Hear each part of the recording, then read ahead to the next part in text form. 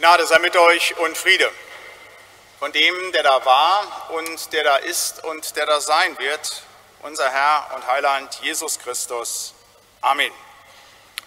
Liebe Gemeinde, der Predigtext für diesen Sonntag ist das Losungswort, mit dem ich Sie zu Beginn des Gottesdienstes schon begrüßt habe.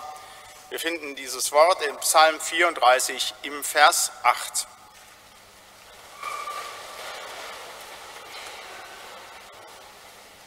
Dort heißt es, der Engel des Herrn lagert sich um die her, die ihn fürchten und hilft ihnen heraus.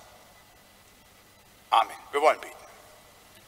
Lieber Herr Heiland, wir wollen dir Dank sagen für dieses wunderbare, verheißende Wort das du uns als Losung für diesen Tag geschenkt hast, mit dem du uns jetzt einfach begegnen willst in diesem Gottesdienst, in dieser Predigt. Wir wollen dich bitten für diese Predigt, dass du jedem Einzelnen uns klar und deutlich sagst, was du ihm zu sagen hast, was er hören soll. Und damit das passiert, dass wir deine Stimme vernehmen können in dieser Predigt, Herr, dazu brauchen wir deine Hilfe.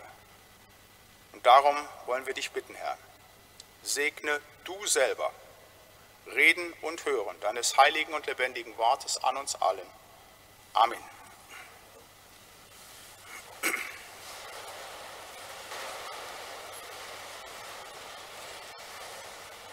Liebe Gemeinde, als Jugendlicher habe ich einige Jahre in einem Posaunenchor gespielt ohne dass das den Posaunenchor weitergebracht hätte oder dass ich da mich irgendwie besonders hervorgetan hätte. Aber da durfte ich so ein bisschen näher an Musik herangeführt werden. Ich habe es auch nur bis zur zweiten Stimme gebracht. Und es war so, wenn wir ein neues Stück einübten, dann war es so, dass der Posaunenchorleiter uns das selber kurz vorspielte von der Melodie. Und dann ist er hingegangen und hat dieses Stück mit uns wirklich durchbuchstabiert. Also, dann wurde Stimme für Stimme geprobt. Erste Stimme, zweite Stimme, Bass, Tenor. Danach wurden, je nachdem wie schwer das Stück war, die besonders schweren Dinge rausgegriffen, dann Takt für Takt nochmal durchgespielt, bis schließlich wir das so weit drauf hatten, dann konnten wir es in Gänze spielen. Warum erzähle ich Ihnen das? Ich möchte heute in dieser Predigt genauso vorgehen wie dieser Posaunenchorleiter. Ich habe Ihnen auch ein ganz wunderbares Stück aus der Bibel mitgebracht, diesen Psalm 34, Vers 8. Gott schenkt es Ihnen als Losungstext für diesen Tag. Und ich möchte dieses Wort mit Ihnen auch noch einmal durchbuchstabieren, damit es am Ende dieser Predigt in seiner ganzen Fülle, in seiner ganzen Herrlichkeit neu für Sie erklingen kann. So habe ich diese Predigt überschrieben über den Engel des Herrn. Ein Psalmwort wird durchbuchstabiert. Vier Punkte. Erstens der Engel des Herrn. Zweitens das Lagern des Engel des Herrn. Drittens der Ort des Engel des Herrn. Und viertens die Hilfe des Engel des Herrn. Der erste Punkt, der Engel des Herrn. Und so will ich dieses Stück nochmal betonen. Der Engel des Herrn lagert sich um die her, die ihn fürchten und hilft ihnen heraus. In diesem Wort geht es um den Engel des Herrn und diesem Engel wollen wir uns zuwenden im ersten Punkt der Predigt. Engel, so kann man generell sagen, sind Werkzeuge Gottes, Werkzeuge, durch die Gott einem zum einen beschützt und zum anderen Botschaften mitteilt. Im Griechischen heißt übrigens auch das Wort für Engel Angelos, das heißt so viel wie eben Bote und im, im Hebräischen ebenfalls Malach, ebenfalls Bote, Botschaften. Diese Engel sind Werkzeuge Gottes, keine eigenen geistlichen Geschöpfe, die eine Anbetung oder Verehrung verdient hätten, sondern sie sind in den Händen unseres lebendigen Gottes wie der Hammer in der Hand eines Schlossers oder eines Schmiedes. Die Bibel unterscheidet unterschiedliche Arten von Engeln. Das ist ganz interessant. Es gibt die gewöhnlichen Engel, also wenn wir morgen am Heiligabend Lukas Evangelium, zweite Kapitel hören halt nicht. Da ist die Menge der himmlischen Heerscharen über dem Stall in Bethlehem. Das sind die gewöhnlichen Engel, ganz viele Engel, die dort singen. Es gibt den Erzengel, Erzengel Michael, besondere Engel wie den Gabriel haben wir eben gehört. Es gibt die Cherubim, Das sind diese streitbaren Engel, die vor dem Paradies etwa liegen, die Seraphinen, die Jesaja sehen darf, dort, als er die Gottesschau hat in Jesaja 6. Es gibt einen starken Engel, davon berichtet die Offenbarung. Es gibt die Schutzengel und es gibt schließlich auch die Engel, die ihre Bestimmung verlassen haben, die gefallenen Engel, die sich dem Wirkbereich des Widersachers unterstellt haben. Also das ist ganz spannend, interessant. Ich habe vor einigen Jahren auch schon einmal eine Predigt nur über diese unterschiedlichen Arten der Engel gehalten. Ein Engel jedoch, der fällt aus dieser Gruppe raus. Ich habe Ihnen also gerade verschiedene Dinge gesagt. Einer fällt raus, steht über allem. Da fragt man sich, ist das überhaupt ein Engel? Das ist die etwas rätselhafte Figur des Engel des Herrn. Der Engel des Herrn. An besonderen Stellen im Alten Testament taucht dieser Engel auf. Übrigens im Neuen Testament, das muss man sagen, weil wir hier mal Lutherbibel lesen, in der Lutherbibel wird das ganz schwach übersetzt. Also die beiden Texte, die ich eben vorgelesen habe, da schreibt tatsächlich die Lutherbibel, also Lukas 1 und Matthäus, ähm, Matthäus 1 und Lukas 1, der Engel des Herrn. Das ist aber der Engel des Herrn aus dem Alten Testament bei der Verkündigung eben des Zacharias. Da war es ja Gabriel, das war nicht der Engel des Herrn. Und auch bei der Verkündigung zum ähm, bei Josef ist es ein Engel, so steht es im Urtext. Leider übersetzt die Lutherbibel da sehr schwach. Da muss man gucken, das ist ein ganz großer Fehler. Es ist nicht der Engel des Herrn, der dort verkündigt, sondern ein Engel des Herrn. Denn der Engel des Herrn ist etwas ganz Besonderes. Der Engel des Herrn ist Gott selber. Der Engel des Herrn ist Gott selber. Hier geht etwas ineinander, was wir so nur annehmen können, wie die Bibel das in der Brüchigkeit sagt, aber es wird klar und deutlich aus den Bezügen, dass der Engel des Herrn Gott selber und damit Jesus selber im Alten Testament ist. Ich will Ihnen das an einigen Stellen zeigen und beweisen. Zum Beispiel 1. Mose 31. Da heißt es, dass Jakob im Traum der Engel des Herrn erscheint und dann spricht dieser Engel und er sagt, ich bin der Gott, der dir zu Bethel erschienen ist, wo du einen Stein gesalbt hast. Also der Engel des Herrn sagt selber, ich bin Gott. Genauso spricht er in 2. Mose 3, als Mose da die Schafe seines Schwiegervaters Jethro hütet, da erscheint ihm im brennenden Dornbusch der Engel des Herrn und der fängt an zu sprechen und sagt dann, ich bin der Gott deines Vaters, der Gott Abrahams, der Gott Isaaks und der Gott Jakobs. Also der Engel des Herrn bezeichnet sich selber als Gott. Das würde kein anderer Engel tun, kein Cherubim, kein Seraphim, keine der gewöhnlichen Engel, nicht Michael, nicht Gabriel. Das tut nur der Engel des Herrn. Auch als Gideon Begegnung mit dem Engel des Herrn hat, ist es so, dass er ihm dann zum Ende ein Opfer darbringt und der Engel das annimmt. Wäre der Engel nicht Gott, so hätte er das Opfer abgewehrt, hätte er gesagt, das darf nicht sein. An anderen Stellen der Bibel sehen wir das, etwa in der Offenbarung, da will Johannes niederknien und den Engel anbeten, sagt er, das steht mir nicht zu, das steht nur Gott alleine zu. Aber bei Gideon nimmt der Engel des Herrn diese Anbetung an. Also ist es klar, dass hier Gott sein muss, in besonderer Weise sich hier offenbart, dass hier Gott, dass Jesus hier den Menschen schon verborgen im Alten Testament entgegentritt. Ich könnte jetzt noch zahlreiche Stellen im Alten Testament aufführen. Ich darf Ihnen zusammenfassend sagen, dass der Engel des Herrn als Gott wahrgenommen wird, dass er als Richter handelt, dass er Dinge aus eigener Autorität befiehlt, dass er Anbetung annimmt, dass er Verheißungen schenkt, dass er tröstet. Und das sind alles Eigenschaften, das sind alles Eigenschaften, die dem lebendigen Gott, die Jesus Christus zugehören. Das ist ganz wichtig, das muss man klar haben, wenn man diesen Text liest. Das ist nicht irgendein Engelchen. Die Engel sind schon gewaltig und großartig, das ist was Fantastisches, wenn der Herr seine Schutzengel zu uns sendet. Ja, aber der Engel des Herrn, von dem hier die Rede ist, das ist noch etwas ganz anderes. Hier haben wir die Gegenwart des lebendigen, ewigen selber im Alten Testament. Hier tritt uns Jesus, und das ist übrigens nicht meine Auslegung, sondern alle gläubigen Brüder in den letzten 2000 Jahren Kirchengeschichte haben das so verstanden. Hier tritt uns Jesus im Alten Testament entgegen. Das ist das Erste, das wir festhalten müssen, wenn wir diesen Text durchbuchstabieren, dass der Engel des Herrn, dass es der Lebendige selber, dass es Jesus selber ist. Ein zweites, zweiten Punkt, den ich mich zuwenden möchte, ist das Lagern des Engel des Herrn. Noch einmal möchte ich diesen Text lesen, da heißt es, der Engel des Herrn lagert sich um die her, die ihn fürchten und hilft ihnen heraus. Der Engel des Herrn tut etwas, sonst wird in der Bibel im Alten Testament nicht viel beschrieben, was der Engel des Herrn tut. Deshalb ist das ein ganz besonderes Wort. Es sagt uns, dass sich der Engel des Herrn lagert, herumlagert. Und da lohnt es sich einfach, dieses Wort einfach mal so ein bisschen zu assoziieren, zu gucken, was heißt das, dass Gott, der Lebendige, sich im Engel des Herrn um uns herum lagert, wenn, da kommen wir gleich zu, wir ihn fürchten.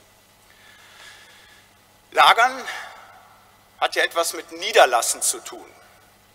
Also wenn man irgendwo hinkommt und schlägt sein Lager auf, dann bleibt man da ja für einige Zeit. Das heißt, da ist man dann. Jetzt muss ich Ihnen das zumuten, da ist man dann, da ist dann die Gegenwart von einem.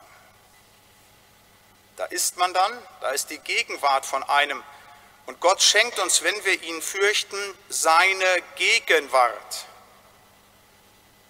Das klingt so unspektakulär, ist aber das Größte, was es gibt. Übrigens so großartig, dass wir in unserer Liturgie das jeden Sonntag hier durchbuchstabieren. Wir singen immer als allererstes, Gott ist gegenwärtig. Ich habe das heute bei der Begrüßung auch so ein bisschen ausgeführt. Gott ist gegenwärtig dort, wo zwei oder drei in seinem Namen versammelt sind, wo sie ihm die Ehrfurcht bringen, dass sie am vierten Advent nicht zu Hause mit der Mutti das Frühstück ausdehnen bis um 1 Uhr, sondern sagen, nein, ich ziehe mich an, ich mache mich schick, ich gehe ins Haus unseres Gottes, ihm zu Ehre, weil er gesagt hat, wir sollen den Feiertag heiligen. Bei diesen Menschen, die ihm Ehrfurcht geben, da lagert sich der Engel des Herrn. Da ist die Gegenwart des Lebendigen bei uns. Gegenwart Gottes ist das Großartigste und Wunderbarste, was es gibt. Als Salomo den Tempel gebaut hat. Und das ist quasi der Endpunkt, der Landnahme. Nicht nur, dass sie die ganzen Fremdvölker äh, niedergerungen haben, dass sie das Land in Besitz genommen haben, dass sie Häuser gebaut haben, Gärten angelegt haben, Weinstöcke gebaut haben. Alles wunderbar. Höhepunkt der Landnahme ist letztlich die, der Bau des Tempels. Und dort, als Salomo betet, dass die Gegenwart Gottes einzieht in den Tempel. Oh, was für ein besonderer und heiliger und wunderbarer Platz. Aber hier wird uns gesagt, dass sich der Engel des Herrn auch um die lagert, dass Gott da auch seine Gegenwart hat, die ihn fürchten. Wow. Im Englischen heißt dieser Vers, The angel of the Lord encampeth around them that they fear him. Encampus, da steckt dieses Camping drin, nicht? Das ist so, ich will nicht despektierlich von Gott sprechen halt, nicht, aber Camping, nicht? Gott campt bei uns, er nimmt Lager bei uns. Das ist das Wunderbare, wenn wir ihn fürchten. Dann ist er bei uns, die Gegenwart des lebendigen Gottes ist bei uns. David sagt im anderen Psalm, halt im Psalm 139, von allen Seiten umgibst du mich und hältst deine Hand um mich. Warum? Weil David Gott gefürchtet hat. Das ist das Tolle. Gott lagert sich um einen rum. Und sein Lager, das gibt einem Schutz wenn ich ein Lager habe, ich habe als junger Mann begeistert die Bücher von Reinhold Messner äh, gelesen. Heute halte ich nicht mehr sehr viel von diesem Mann, weil es ein schlimmer Okkultist ist.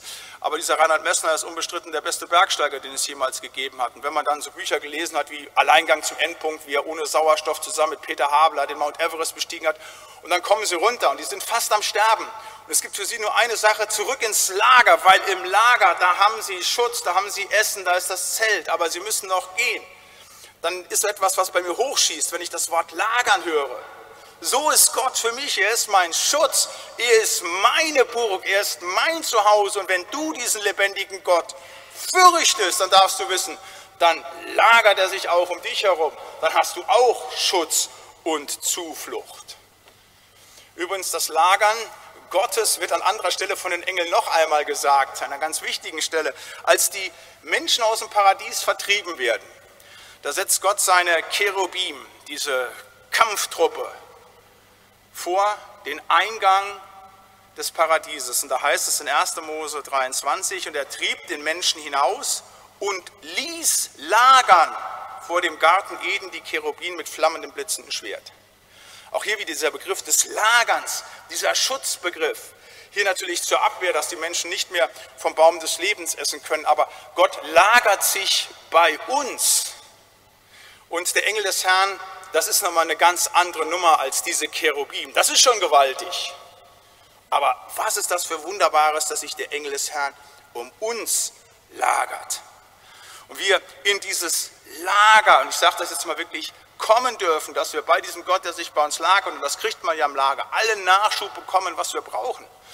Wenn Sie an irgendetwas Mangel haben, dann gehen Sie ins Lager, ob auf der Arbeit oder beim Bergsteigen halt. Sie kommen in Ihr Lager und bekommen dann Essen, Trinken, Wärme, was weiß ich. Und so ist es auch bei dem lebendigen Gott. Wenn er sich um uns lagert, dann haben wir allen Nachschub in unserem, ich spreche jetzt im Bild Lager, in seiner Gegenwart, die wir brauchen. Trost, Kraftzulagen, Wegweisung, egal was wir brauchen. Wir kriegen es bei dem Gott, der sich um uns lagert. Aber nicht nur, dass wir dort die Kraftzulagen kriegen, den Trost kriegen, die Wegweisung kriegen, nein, wir haben auch dort unsere soziologische Beheimatung.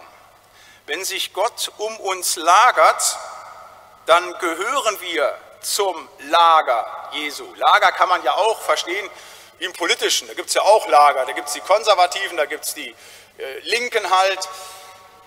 Es gibt im Militär, also im Krieg, gibt es unterschiedliche Lager. Da ist die eine Heeresgruppe, da ist eine andere Heeresgruppe halt. Da gibt es Lager, denen man zugehört. Und wenn wir Gott fürchten, lagert sich, so sagt es dieses Wort, der Engel des Herrn um uns und damit gehören wir zum Lager Jesu. Durch die Gottesfurcht gehören wir zum Lager Jesu. Das ist etwas ganz Wunderbares, ein ganz starkes, tolles Bild zu sagen, dass ich weiß, ich weiß, zu welchem Lager ich gehöre weil ich Gott die Ehre gebe. Und umgekehrt, weil ich im Lager bin, weil ich die Ehre gebe, bin ich im Lager Gottes. Das ist etwas ganz, ganz, ganz, ganz Wunderbares halt. Und wenn du Gott ehrst, wenn du ihn fürchtest, dann hast du eine Beheimatung. Dann gehörst du zum Lager Gottes, weil er sich im Engel des Herrn um dich herum lagert. Das Lagern des Engel des Herrn. Ein drittes, der Ort des Engel des Herrn. Noch einmal möchte ich diesen Vers lesen. Der Engel des Herrn lagert sich um die her, die ihn fürchten und hilft ihnen heraus. Das ist die Voraussetzung für das Lagern des Engel des Herrn, dass wir den lebendigen und heiligen und ewigen Vater, Sohn und Heiligen Geist fürchten. Dann, dann lagert er sich um uns herum. Die Furcht des Herrn schenkt uns das Lagern des Engel des Herrn. Und nicht nur an dieser Stelle, sondern da haben wir auch schon häufig drüber gesprochen, betont die Bibel immer wieder, wie wichtig die Furcht des Herrn ist. Auch das habe ich von dieser Kanzel schon häufig gesagt, aber weil es so zentral ist, wiederhole ich es gerne heute Morgen noch einmal. Die Bibel unterscheidet zwei Arten von Furcht. Einmal Angst haben. Angst haben in dieser Welt. Angst haben zu sterben, krank zu werden, kein Geld mehr zu haben, Angst nicht irgendwie fertig zu werden mit den Problemen, die vor mir sind, Angst um meine Ehe, weiß der Kuckuck alles was. Diese Angst ist Gottes Kindern verboten. Wir haben eben die beiden Lesungen gehört. Da kommen die Engel, das Erste, was sie sagen, fürchte dich nicht. Und das meint das, hab keine Angst.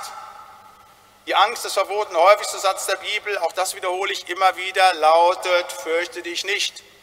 Und ich weiß ja nicht, mit welcher Angst du heute Morgen gekommen bist, was deine persönliche Angst ist. Die ist dir verboten von dem lebendigen Gott. Dieser lebendige Gott ruft dich morgen zu einer Furcht auf, nämlich zu der Ehrfurcht vor ihm. Schau auf mich, hab Ehrfurcht vor mir, so sagte der lebendige Gott heute Morgen. Dann brauchst du in dieser Welt vor nichts mehr Angst zu haben. Das ist das Geheimnis christlichen Lebens. Je größer unsere Ehrfurcht, die in der Bibel geboten ist, ist, je größer unsere Ehrfurcht vor Gott ist, desto kleiner wird unsere Weltangst. Das ist genau ein reziprokes Verhältnis. Und je größer unsere Weltangst wird, desto kleiner ist unsere Ehrfurcht. Und Ehrfurcht ist das, wozu Gott dich heute Morgen aufruft. Und wenn du die hast, das verheißt er dir, dann wird er sich selber in seinem Engel, im Engel des Herrn, bei dir lagern, dann hast du Gemeinschaft mit ihm. Ehrfurcht, das ist das Bewusstsein der unüberbietbaren Autorität unseres Herrn, das Bewusstsein der absoluten Heiligkeit Gottes, des Bewusstseins, dass diesem Gott fortwährend Anbetung, Lobpreis und Ehre gebührt. Diese Ehrfurcht hat die Welt nicht. Das können Sie sehen, wie Menschen zum Teil morgen Heiligabend feiern. Da geht es um tausend Dinge. Geschenke, Weihnachtsbaum, da geht es um das Essen, den Nachtisch, alles, tausend Dinge, die für Menschen an Menschen gemacht werden. Aber die Ehrfurcht des lebendigen Gottes gibt es bei der Welt nicht. Das Gotteskind, das muss kein Weihnachten feiern, weil für das Gotteskind im Prinzip jeden Tag Heiligabend ist, weil er weiß, es gibt einen lebendigen Gott und der in Ehrfurcht lebt, der hat keine Angst mehr vor den Menschen. Und zu dieser Ehrfurcht vor Gott sind wir aufgerufen, immer wieder Ehrfurcht zu haben. Übrigens auch in unserem Gottesdienst, in der Liturgie. Immer wieder diese Elemente, die uns zur Ehrfurcht treiben. Viele Leute verstehen ja nicht, warum wir gewisse Dinge machen. Da hat alles, was wir tun, mit Ehrfurcht zu tun. Beispielsweise, wenn wir singen, Ehre sei Gott in der Höhe. Ja, nicht deshalb, weil das so ein tolles Lied ist und weil uns nichts anderes einfallen würde. Nein, weil das das Wichtige ist. Das müssen wir jeden Sonntag tun, jeden Tag tun. Immer zur Ehre des lebendigen Gottes. Nicht nur singen, sondern das auch im Herzen haben, Ehrfurcht haben. Dass wir im Gottesdienst aufstehen vor dem Wort Gottes. Das hat was mit der Ehrfurcht des lebendigen Gottes zu tun, weil wir ja wissen, dass Gott selber das Wort ist. Und wenn er spricht, wenn ihr redet, dann stehen wir auf, weil wir sagen, jetzt begegnet uns Gott in seinem Wort und aus Ehrfurcht erheben wir uns. Wir machen nicht irgendwie ein Gesundheitsprogramm, weil wir sagen, ja, nach eineinhalb Stunden sitzen ist es ganz gut, mal aufzustehen, das ist besser für die Durchblutung in ihren Waden. Das mag es auch sein, aber das Zentrale ist die Ehrfurcht vor dem lebendigen Gott. Auch, dass wir hier bei uns im Gottesdienst nicht klatschen, wir sind keine weltliche Vereinigung. Wenn ihr eine, eine gute Leistung bringt, ob auf der Orgel, auf der Kanzel, an der Posaune, wo auch immer, dann tut das zur Ehre Gottes das ist ein Privileg, da braucht es keinen Beifall von Menschen mehr für. Oder dass wir zum Beispiel, hat mich ein lieber Bruder die Woche gefragt, warum bleiben wir denn beim Nachspiel nicht sitzen, wenn der Organist spielt? Weil mit dem Segenschluss ist im Gottesdienst. Ein Gottesdienst beginnt immer mit im Namen des Vaters, des Sohnes und des Heiligen Geistes und endet und endet mit dem Segen. Deshalb stehen wir auf, weil alles andere dann nur weltlich ist, egal wie gut der Organist spielt. Aber das ist wichtig, wir tun es aus Ehre und aus Wertschätzung gegenüber dem lebendigen Gott. Das ist übrigens auch das, was wichtig ist für uns als Gemeinde. Das ist mir wichtig, das war meinen Vorgängern immer wieder wichtig. Wir wollen nicht sein für Menschen. Wir wollen etwas sein zur Ehre, zum Lob seiner Herrlichkeit. So heißt es übrigens in Epheser 1. Wir wollen etwas sein zum Lob seiner Herrlichkeit. Und damit ist eine Gemeinde immer gut aufgestellt, wenn sie nur nach einem trachtet, zur Ehre und zum Lob des lebendigen Gottes zu leben. Wenn sie das tut, ist alles in Ordnung, dann kommen die menschlichen Dinge automatisch sowieso. Aber wehe der Gemeinde, wehe der Kirche, die anfängt, nicht in der Ehrfurcht Gottes mehr zu leben, nicht nach der Ehrfurcht Gottes zu trachten und zu verkündigen, sondern auf die Welt guckt. Das ist Programm der EKD in Deutschland geworden nach dem Zweiten Weltkrieg. Da waren die Türen offen. Wir hätten machen können, was wir wollten. Was haben die angefangen? Haben gesagt, wir müssen politische Bildung machen. Da hat man Bildungsinstitute gegründet und hat dieses Bonhoeffer Wort falsch verstanden, Kirche für das Volk zu sein. Kirche für das Volk. Man will etwas sein in dieser Gesellschaft. Ich will nicht sein in dieser Gesellschaft. Ich will etwas sein zur Ehre und zum Lob des lebendigen Gottes. Es gibt auch Gemeinden jetzt, die sich dann neue Konzepte geben. Und dann sind sie auf einmal Familienkirche, Kirche für den Stadtteil. Da gibt es ganze Theologien, die sich daraus entwickeln. Emerging Church. Da wird erst nicht geguckt, was in der Schrift steht, sondern dann wird eine Gemeinde gegründet und geguckt, was braucht denn der Stadtteil? Ich kann euch die Antwort geben, was ein Stadtteil braucht. Ob es Huchting ist, ob es Oberneuland ist, ob es Aachen ist, oder Stadtmitte ist. Jesus, Jesus, Jesus, nichts anderes. Nicht, was Menschen brauchen wollen oder sonst irgendwas, sondern was Gott denkt, was die Menschen brauchen. Das hat er uns gesagt. Jesus, Jesus, Jesus, nichts anderes. Das ist die Antwort, die Lösung für alles. Und zu seiner Ehre, zu seinem Lob und zu seinem Preis wollen wir da sein. Und wenn wir das tun, dann werden wir erleben, wie im persönlichen, wie im gemeindlichen, wie der Herr Segen schenkt. Und wenn wir auf die Welt schauen, uns an der Welt ausrichten, werden wir genau das andere erleben. Dann spielen wir das Spiel des Teufels und der dekliniert uns von A bis Z durch, mit all den Ängsten, mit all den Sorgen, mit all den Schwierigkeiten. Lasst uns immer, gemeintlich wie persönlich, in der Ehrfurcht vor dem lebendigen Gott stehen. Dann hat er uns verheißen, dass er sich um uns lagern wird. Und dann werden wir allen Segen haben, den wir brauchen. Die Bibel lädt ein zu einem Leben in der Furcht des Herrn, in der Ehrfurcht vor dem Lebendigen. Und das möchte ich heute Morgen auch noch einmal ausdrücklich tun. Dich einladen zu solch einem Leben, einem Leben in der Ehrfurcht vor dem lebendigen Gott. Ein viertes, was wir durchbuchstabieren wollen, ist der Schluss dieses Wortes, die Hilfe des Engel des Herrn. Der Engel des Herrn lagert sich um die her, die ihn fürchten, und hilft ihnen heraus. Der Engel des Herrn hilft heraus. Da habe ich mir auch überlegt, woraus hilft denn Gott? Woraus hilft denn der Engel des Herrn? Nun, er hilft aus Problemen und Schwierigkeiten. David, der diesen Psalm 34 geschrieben hat, wie kennen Sie diese Geschichte, hat als junger Mann einmal ein großes Problem gehabt, als er zu seinen Brüdern kommt, um den Essen zu bringen und mitbekommt, wie der Philister Goliath, der Philisterkrieger, Gott lästert und niemand aus seinem Volk aufsteht und dem wehrt. Die Ehre Gottes wird beschmutzt, niemand ist in Ehrfurcht vor dem lebendigen Gott, sondern ganz Israel hat die Hosen voll, hat Weltangst vor diesem tatsächlichen Superkrieger, der über zwei Meter groß war, schwer bewaffnet gewesen ist. Aber als David das mitbekommt, da sieht er nicht das Weltliche, sondern die Ehrfurcht Gottes, die packt ihn so, dass er sagt, das kann nicht sein, dass der Name des lebendigen Gottes hier gelästert wird. Und dann tritt er den Kampf an, im Namen des Herrn.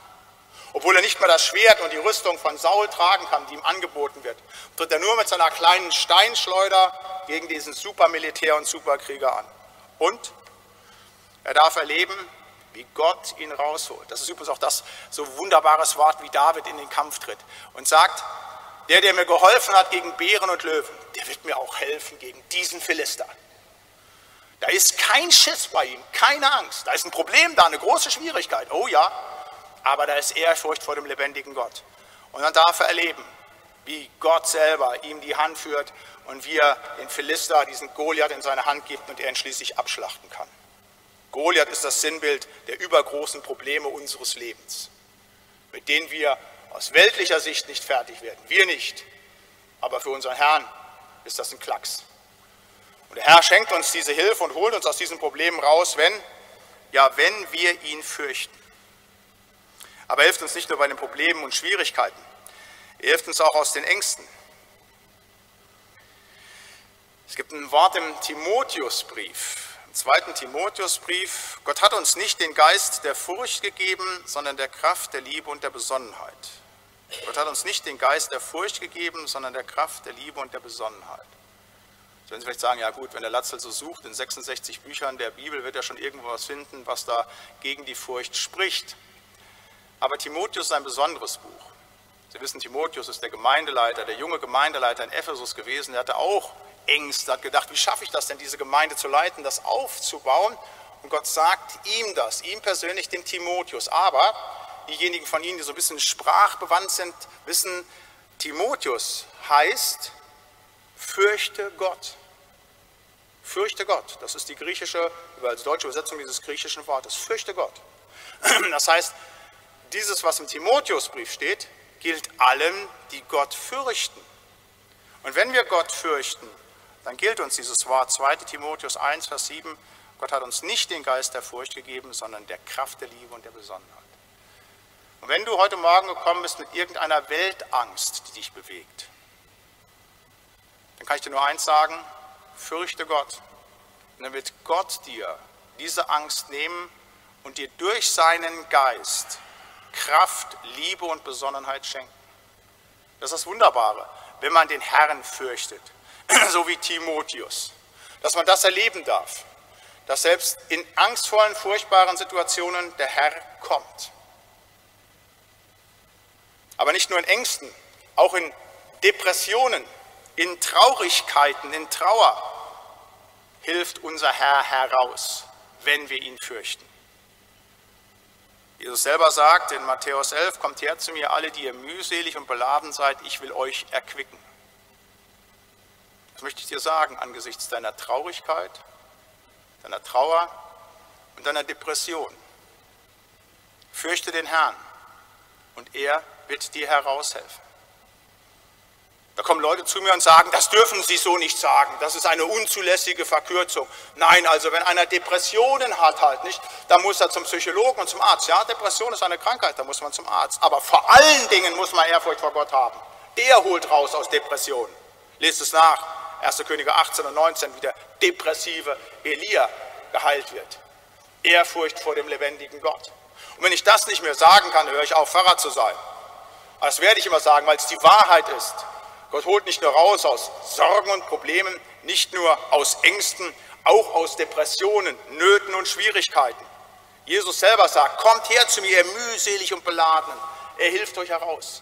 Dazu braucht ihr aber die Ehrfurcht vor dem lebendigen Gott, dass ihr wirklich auch sagt, ja, das kann Gott tun. Wer dann sagt, ja, da hat vielleicht mein Neurologe, mein Arzt mehr drauf als mein lebendiger Gott, der gibt dem Arzt mehr Ehre als dem lebendigen Gott. Und der muss sich nicht wundern, dass er zeitlebens Medikamente fressen wird halt nicht und nicht geholfen bekommt. Nein, gebt dem lebendigen Gott die Ehre. Fürchtet ihn und ihr werdet sehen, wie er euch hilft, wie er euch herausholt. Das nicht nur bei Trauer, Depression, bei Ängsten, bei Sorgen. Er holt uns auch heraus aus der finalen Katastrophe, aus dem Tod. Der Engel des Herrn lagert sich um die die ihn fürchten und hilft ihnen heraus. Ich fürchte meinen lebendigen Gott und ehre ihn, versuche ihn zu ehren mit meiner sündigen und kleinen Kraft und weiß deshalb, dass dieses Wort wahr werden wird. Wahr ist in meinem Wort, aber wahr werden wird ganz besonders im Moment meines Todes.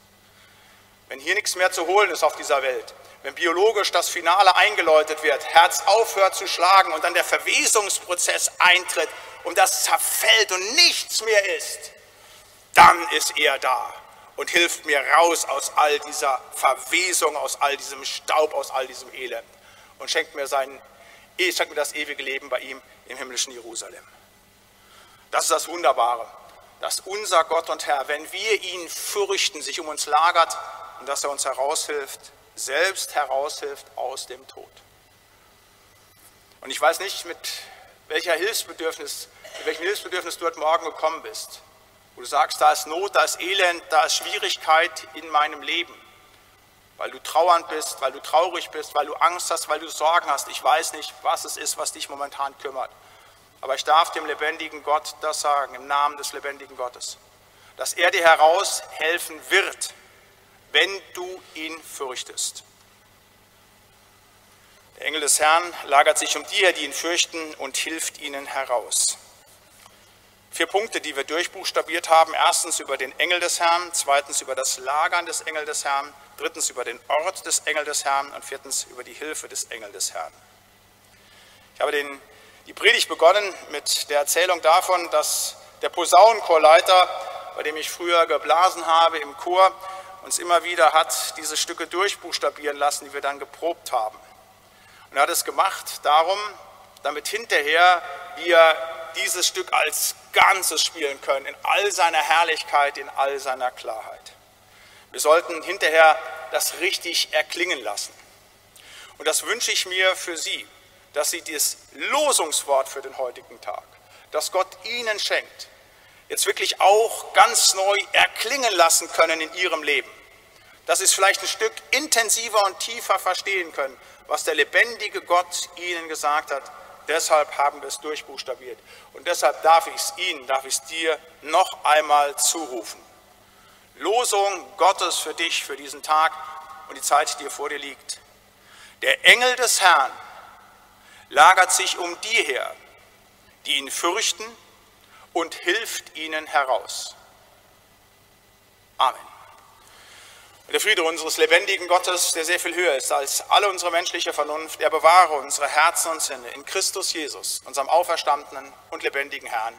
Amen.